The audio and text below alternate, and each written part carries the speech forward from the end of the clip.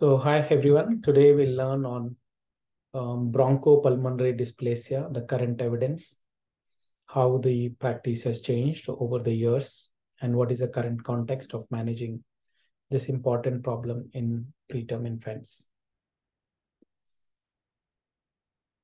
So bronchopulmonary dysplasia, we'll learn about the definition, the pathophysiology, and then we look at the pathology and since it's an evolving disease, we look at the prevention and management together. Uh, we can divide this into three phases. The early phase, that is in the first seven days after birth. The evolving phase from seven days to 36 weeks. And after we define bronchopulmonary dysplasia 36 weeks, that is the established phase, we'll look at the management.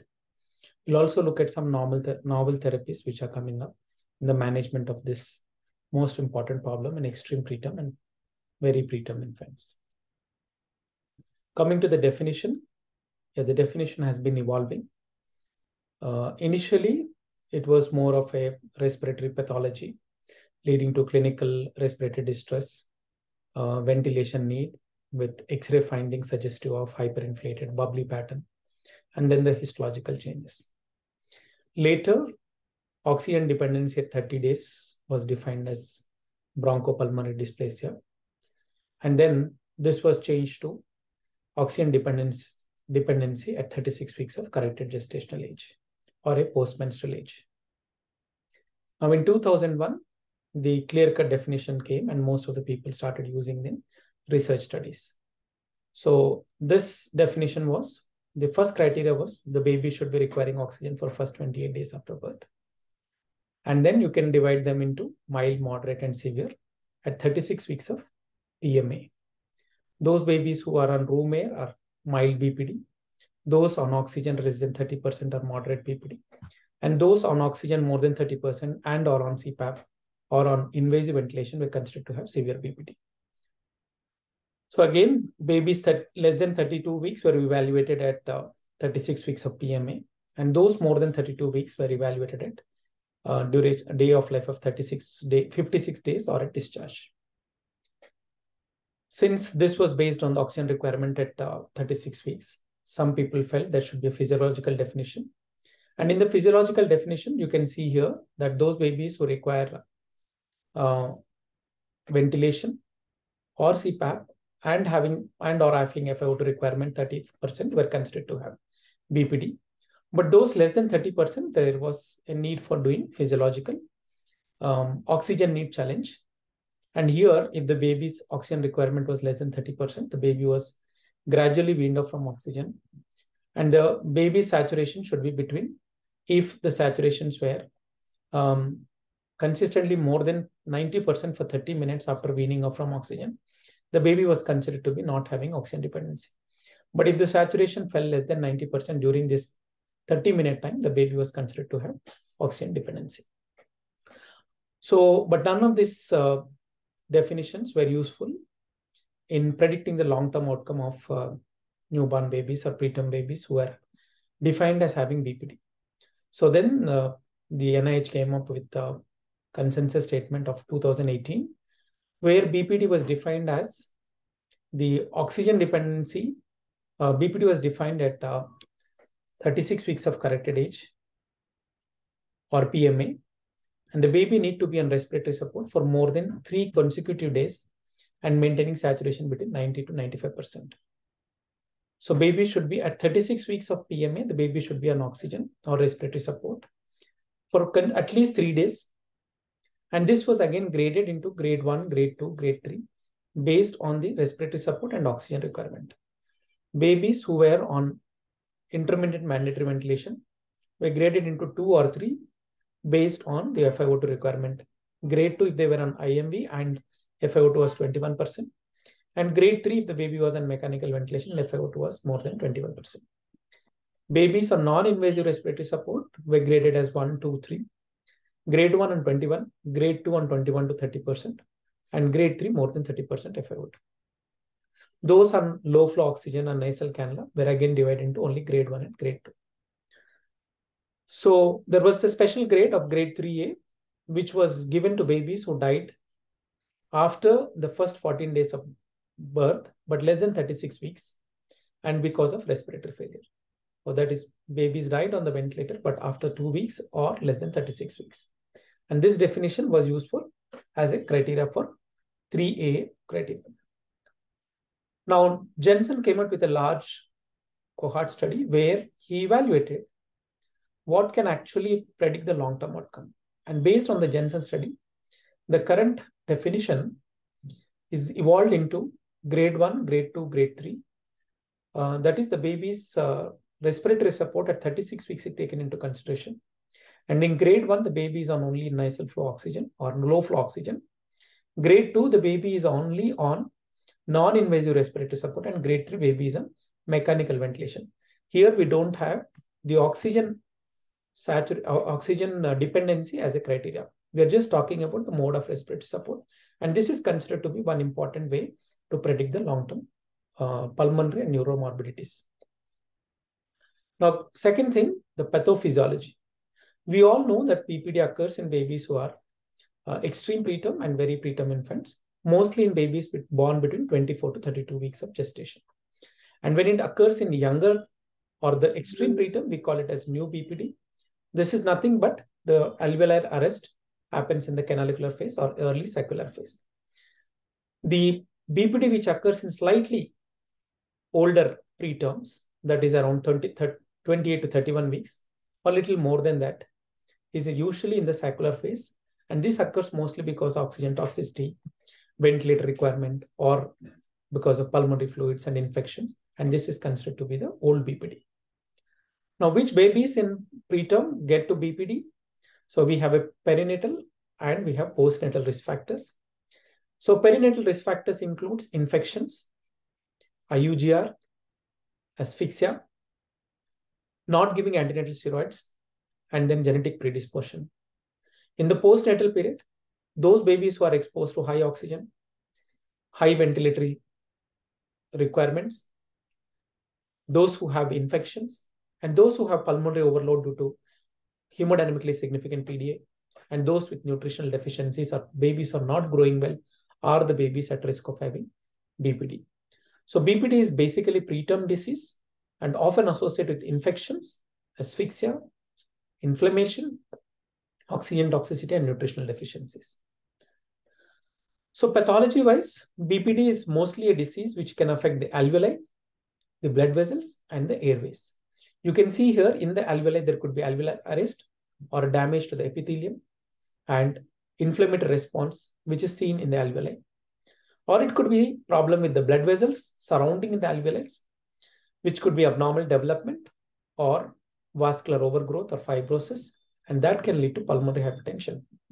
The third pathological finding is the in the airways, there could be bronchoconstriction or there could be hypertrophy of the airways leading to fibrosis and then difficulty in ventilation due to increased resistance and thereby CO2 retention and hyperinflation of the lungs. So basically BPD involves the alveoli, the airways and the blood vessels. In the blood vessels, it can lead to pulmonary hypertension or VQ mismatch. In the alveoli, it can lead to decreased surface area. And in the airways, it can lead to increased resistance and also lot of VQ, VQ mismatch because of hyperinflation and air trapping.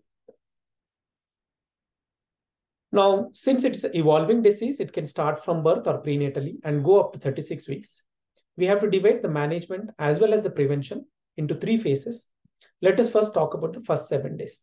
And obviously, the maximum in insult occurs in the labor room or in the first one hour after birth.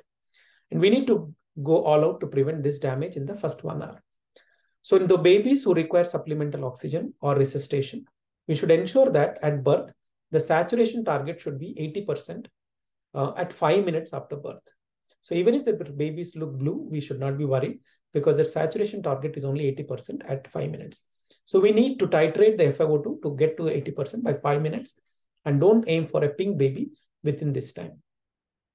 And if possible, baby should be on started on early CPAP, especially those babies who have start having respiratory distress. We start early rescue CPAP at a PEEP of 5 and FiO2 titrated to maintain the saturation between 91 to 95%. And it is also good to start and give early surfactant in the labor room or at admission to the NICU so that the surfactant spread is best when the lung fluid is still there in the alveoli and the alveoli is still open with the lung fluid. And if surfactant is given, it may be better to be given by least, invasive, uh, least invasive surfactant administration, that is LISA technique. The difference between LISA and INSURE is in LISA, the baby is spontaneous breathing and no artificial breath is given at the time of surfactant administration. Whereas in INSURE, you intubate, give surfactant, and also do the positive pressure ventilation while giving surfactant. Whereas when you're doing LISA, the baby is on CPAP, you pass a small catheter, give surfactant while the CPAP is still ongoing. So coming to the NICU phase or the early seven days in the NICU, the other things which can help you to prevent or to uh, prevent the baby from evolving into BPD are giving early caffeine. The earlier the caffeine is given, the lower the risk of BPD for the baby. Fluid restriction, always work on lower volume of fluid for all these babies. And the total enteral and parenteral nutrition should be on the lower side of the need for the baby. And early surfactant, we have already discussed. If not given in the labor room, we should give for all babies who are on CPAP and requiring a PEEP of more than 6 and or FiO2 more than 30%. And if surfactant is given, preferable to give by LISA. And if LISA technique is difficult or if the people are not experienced, one can still go with INSURE technique. And if vitamin A is given, it is better to be given early in the first four weeks. And vitamin A best is given IM 5000 international units three times a day. And the number needed to treat is 14, which means every 14 babies we give vitamin K, we can avoid one BPD. The other things which can happen in the early phase, which can prevent mm-hmm. BPD are ventilation strategy and selective use of steroids. And in the first one week, the recommended steroid is only hydrocortisone. We'll discuss about this in the next subsequent slide. Now, nutrition is the pivotal, nutrition has the pivotal role in, in decreasing the incidence and severity of BPD, both during early phase, evolving phase, and also during the established phase. And this nutrition in the first week is mostly related to an aggressive enteral and parenteral nutrition and concentrating on giving more of mother's own milk or human milk. In the early phase, that is in the first seven days, the ventilation strategies adopted should be volume targeted ventilation and try to extubate the baby to non-invasive ventilation if the baby is on invasive as early as possible to NIPPV, CPAP, or HFNC. Those babies who are off invasive ventilation before seven days are less likely to have BPD. And if you're ventilating the babies on invasive, the tidal volume should, targeting should be between 4 to 6 ml per kg. So short TIs 0.3 to 0.4 seconds and lower rates of 40 to 60 per minute. We should try to give lesser pressures, that is a PIP of 14 to 20 and a PEEP of 4 to 6. These are recommended to prevent alveolar damage due to volutrauma. And our target PaO2s can be on the lower side. That is, there could be little permissive hypoxia and permissive hypercapnia, keeping the pH in the normal range, and that is above 7.25. And PaO2 should be between 40 to 60 mm of mercury and PCO2 between 45 to 55 mm of mercury. So these are the ventilation strategies we should evolve, we should adopt during the early phase. Now coming to the steroids, in the early phase, it's recommended. The only recommended steroid is low dose, low dose hydrocortisone. And this is very, very selectively used. And the dose of hydrocortisone is from the Premiloc study, cumulative dose of 8.5 milligrams given over 10 days. And uh, we are looking at improved BPD, BPD free survival. It is known to decrease, uh, increase the BPD free survival, um, low dose hydrocortisone. But in the Premiloc study, the, it has been clearly shown that it can increase the risk of having spontaneous intestinal perforation if given with indomethacin. And there is also increased risk of late onset sepsis, especially when administered to babies less than 26 weeks. Mm. However, the best benefits with hydrocortisone are for babies who are less than 28, 26 weeks and with a history of clinical chorioamnitis in the mother. So this is rarely used and sparingly used because it is associated with increased risk of SIP and LOS, although it can decrease the risk of having BPD. The other steroids which have been studied are the inhaled budesonide with surfactant. Uh, this is definitely shown to increase the BPD-free survival rate, and the number needed to treat is very good. That is, every four babies given uh, budesonide and surfactant, you can avoid one BPD. However, the long-term effects are not yet evaluated with this uh, method and still it is experimental. Now coming to the second part of the management uh, of extreme preterms and very preterm babies to prevent BPD, that is the evolving phase. They start from seven days and goes up to 36 weeks. And as we define BPD at 36 weeks, this is the evolving phase. And during this phase, every effort should be there to prevent baby going from the normal lung growth to a BPD growth. So here continue caffeine and caffeine across the early and evolving phase has shown to decrease the incidence and severity of BPD. And again, continue to follow the restrictive fluid regime. And the ventilative strategies are slightly different here. And again, all effort should be made to convert the baby from invasive to non-invasive, especially CPAP, nasal IMV or synchronized NIPPV. Here, our targets at pH should be 7.25 to 7.35. And you can see that we need to maintain slightly higher PaO2s, that is 50 to 70 mm. And we can, we can target slightly higher PCO2s of 50 to 60 mm of mercury to prevent volute and barotrauma to the lungs. And after one week, it is the steroid, which if it used, should be only dexamethasone, could be low or high dose. And this should be again used only on a rescue mode and in only select babies. We'll discuss about this in the subsequent slides. And again, during the evolution phase, our aim should be focusing on enteral nutrition and again on mother's own milk, using mother's own milk as much as possible. So in the second phase, that is the evolving phase, the only steroid which is recommended is dexamethasone. We know the DART trial. In the DART trial, the dose used was 0.89 milligram per kg, given over a duration of 10 days, and that is a cumulative dose. And this has significantly shown to decrease the extubation failure rate. That is the babies where we were able to take out the babies from ventilation to CPAP or NIV. So it was possible and it was successful using low dose dexamethasone. So in babies who are stuck to ventilator, this may be one option. However, it has not shown to decrease the incidence of BPD in the trial, probably because the sample size was low. Now, in the other regimen which has been evaluated is the high dose dexamethasone, which is given in the dose of 0.5 to 1 milligram per kg per day. This is definitely shown to decrease the risk of BPD, but there is an increased risk of neurodevelopmental delay as well as cerebral palsy with high dose of dexamethasone. This is preferred only for babies at very high risk of BPD, and we'll discuss which babies can get dexamethasone in the subsequent slide in the evolving phase. So here, if you see this graph, this is a very important graph which will tell you at what phase of lung disease or what phase of uh, lung disease in the evolving phase of BPD we should be giving steroids. On the x-axis, you have the risk of baby having uh, developing uh, BPD. On the y-axis, you have if you give steroids, whether it will uh, prevent uh, death and B, uh, death and CP, or it will work, it will increase the risk of having death or cerebral palsy. Now, as you can clearly see here, the cutoff appears to be at around 50%. After, if the risk of BPD is more than 50%, uh, giving steroid is likely to favor the patients by decreasing the risk of BPD and also by, uh, by decreasing death and CP. But however, if the risk of BPD is less than 50%, then giving steroids is not likely to favor the patients because it is increase, increasing the risk of having death or cerebral palsy uh, so the cutoff is 50%.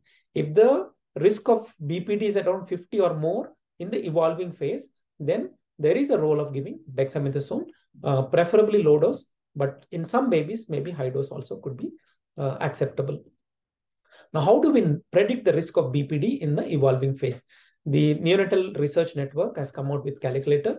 Here, you can um, you can um, uh, you can uh, jot the baby's gestational age, birth weight, the baby's gender, and uh, race or ethnicity. This is more applicable to the um, Western countries. So, but however, you can put a black or uh, Hispanic or uh, white uh, in, in only three options are available here. And the age of the baby. So here I've taken 14 days as the baby and the baby is on mechanical ventilation requiring FiO2 of 30%. So this is our baby now.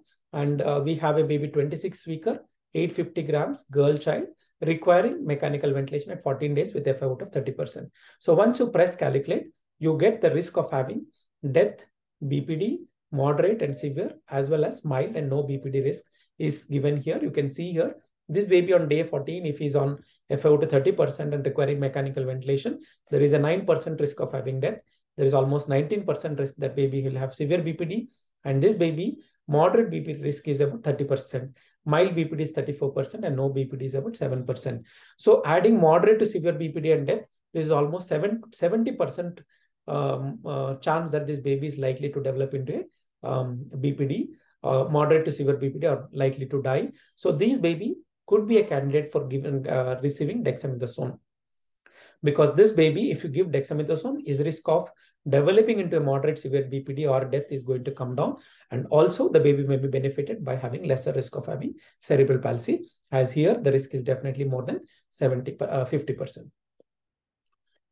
Now, after discussing the evolving phase, then comes the established phase. That is, the baby has required oxygen for more than 28 days. And at 36 weeks, the baby is on some respiratory support. And that means he's being labeled as bronchopulmonary dysplasia. And in these babies who have established BPD, um, one should screen for pulmonary hypertension because apart from treating lung disease, we need to work on improving the pulmonary vascular resistance and decreasing the pulmonary vascular resistance. So we need to look at pulmonary hypertension in these babies in the evolving as well as in the established phase. 25% of babies who have BPD are likely to have significant pulmonary hypertension. Um, the medicines which could be useful in the established phase are diuretics. Diuretics, you can give one or two trials of diuretic and see if the oxygen requirement comes down. You can continue with it. Thiazides are preferred over furosemide. And um, you can also look at uh, giving inhaled uh, um, bronchodilators like um, salbutamol only for those babies who have a wheezing, uh, wheezing or bronchospasm spells.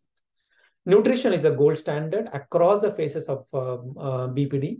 And again, one should aim for um, and one should aim for calorie and protein intense uh, nutrition and avoiding fluid and overload and uh, at the same time avoiding overweight of the baby.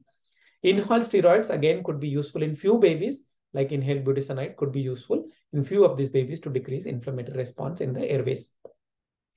Uh, all these babies who are after in the established phase may benefit from uh, RSV and influenza prophylaxis before uh, uh RSV prophylaxis before discharge and influenza prophylaxis could be given to the parents and to the family before discharge of these babies. So all there could be a cocoon vaccination of influenza could be done for all the family members before you discharge a BPD baby to home.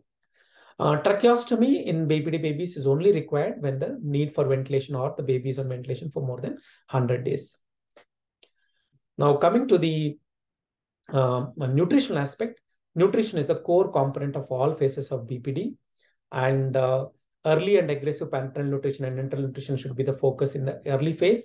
We should aim for a 3.5 to 4 or 4.5 gram per kg per day protein and calorie require calorie of 125 to 140 kilocalorie per kg per day and always start by coating the colostrum as early as possible because this is going to change the bioflora of the baby and maybe giving the friendly bacteria to the gut as well as to the oral cavity and prevent many subsequent infections. So every effort should be there to get the colostrum of the mother on day one, on hour one, and coat the baby's mouth and tummy with the colostrum. And it has been shown that if you continue to use mother's own milk, it has a dose dependent effect on decreasing the risk of having BPD. We'll look at this in the subsequent slide and always aim for reaching full enteral feeds by day seven or day, day eight. And in this full feed should be mostly mother's own milk or donor human milk. So we have a wonderful study coming from uh, Patel et al. Uh, where they have studied nearly 200 VLBW babies, where they have shown that there is could be a 42% reduction in the risk of having CLD with increasing use of mother's own milk. Here, they have divided the VLBWs into four groups. The lower HM1 is the lower quantile of uh, mother's own milk, and HM4 is where the total enteral nutrition, uh, nutrition was predominantly in the upper quantile of uh, upper quantile of mother's own milk. As the quantity of mother's own milk, you can see here, the risk of BPD is significantly reduced from 35% in the low dose of mother's own milk to 12% in the high dose of mother's own milk. So mother's own milk has a dose dependent effect on reducing the incidence of uh, chronic lung disease. It also has effect on late onset sepsis. So both could be contributed to each other. So it may be worth to work on this important intervention across all NICUs when you're treating extremely low birth and very preterm babies. There is a need for having a uh, uh, hospital grade breast pump and this should be accompanied by the mother right from birth or from the labor room till the mother is getting discharged from the hospital and or possibly at home too So there is a need for having a dedicated lactation nurse for every NICU so that the mother's own milk is expressed and the support to the mothers is continued from admission till discharge and post discharge so that babies continue to get exclusive mother's own milk.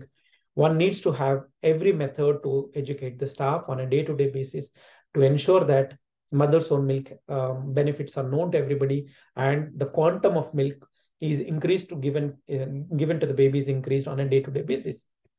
So one can have a dashboard at the entry of NICUs to ensure that they are working on mother's own milk on a quality improvement project on a day-to-day basis and decrease the risk of not only BPD, but all other neonatal morbidities. This is a busy slide, but it shows the uh, evidence on the role of systemic uh, corticosteroids uh, in preventing BPD. So you can see here that in the early phase, the meta-analysis of randomized control studies using dexamethasone in the first early phase have shown definitely reduce the risk of having uh, uh, extubation failures, decreases BPD, decreases death or BPD, and however, it has no effect on home oxygen requirement, but it increases the chance having cerebral palsy or death in the long term. So this is not a recommended therapy in the first one week. In the first one week, we don't want to give dexamethasone, although decreases lung morbidities, increases neuromorbidities. Now, looking at the second aspect, that is the meta-analysis of randomized control trial, looking at dexamethasone after first seven days. This has shown to decrease the risk of having extubation failures, decreases the BPD, decreases death or BPD, decreases the requirement for home oxygen, and however, it doesn't have effect on uh, cerebral palsy or death on the long term. So it has a positive effect, but it does not have a negative effect on late onset sepsis and cerebral palsy or death on the long term. So after one week, in select babies, we are we can think of giving dexamethasone on a case by case basis. And looking at the early uh, use of hydrocortisone, that is in the first one week, um, this is coming from the single patient analysis of uh, RCTs using low dose hydrocortisone the first one week and also looking at babies of 25, 26 weeks. Here you can see that the uh, the babies on ventilation, there was no decrease in difference in duration of ventilation, but extubation prior to 10 days was better in babies who received hydrocortisone. Uh, the risk of BPD at 36 was lower. Uh, survival BPD, without BPD was higher. Uh, however, there was no effect on home oxygen, uh, cerebral palsy, or other neuromorbidities. Uh, you can see here, however, the risk of having late onset sepsis and spontaneous intravenous perfusion was significantly higher and this risk was highest in babies less than 26 weeks and babies who are requiring indomethacin. So hydrocortisone, if it is given in the first one week, should be given only for babies less than 26 weeks at having um, prenatal history of chorioamnitis and in the lowest dose possible and keep a watch on late onset sepsis and on SAP. But this risk is very high. And after one week, the hydrocortisone was used in a very high dose and this has not shown any effect on the risk of BPD and or on the long-term outcome. So no more hydrocortisone should be used after one week. Now coming to the last part of the presentation, what about the novel therapies? There's a lot of work coming up on the use of mesenchymal stem cells. Um, this could work as improving the growth of the alveoli, growth of the uh, blood vessels, as well as improving the uh, airway uh, remodulation could occur with mesenchymal stem cells. There are some case reports and case series looking at improving the outcome of babies with babies with BPD and using stem cell uh, trans, uh, stem cell therapies.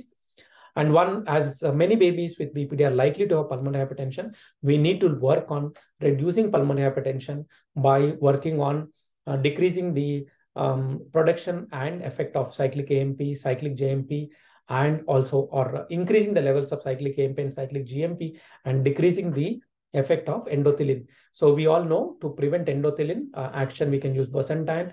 To increase the levels of cyclic AMP, we can think of using prostacyclin, alprostadil, and milrinone. And to increase the levels of cyclic GMP, one can think of uh, NO and sildenafil and arginine as the methods. So inhaled nitric oxide in some studies have shown to be useful, but should not be a routine therapy.